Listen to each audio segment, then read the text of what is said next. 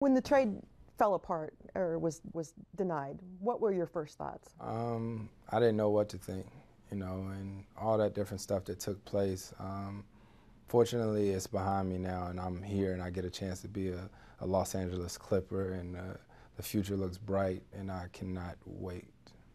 So why the Clippers? Why the Clippers? Why not the Clippers?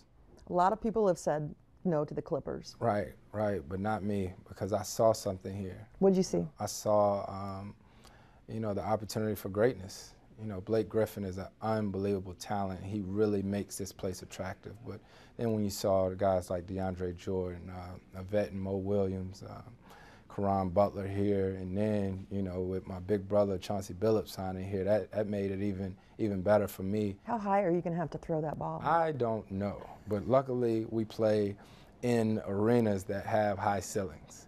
You know, so I think that's going to be the adjust, adjustment for me. You know, to know if I throw the lob to 15 feet or to 20 feet.